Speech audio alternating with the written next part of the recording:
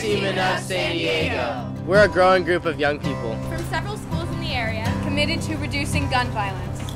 We need to make change because enough is enough. Enough fear, we need to understand the facts. Enough arguing, we need action.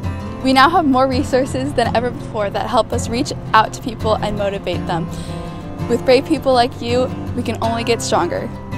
We're hosting a nonpartisan town hall style discussion with leaders from around our state in February on the Friday after the anniversary of the Parkland shooting. It's called Seeking Solutions in a Polarized World. Like you, we want to push for change that can be agreed on by the majority of Americans. Our safety, your safety, the safety of our siblings should not be a polarizing issue. We all recognize that gun violence is a life or death issue and are working to create lasting, nonpartisan solutions that will end gun violence for good.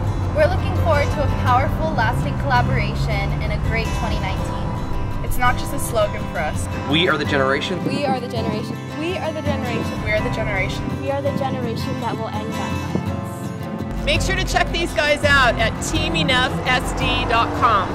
Bye. Bye.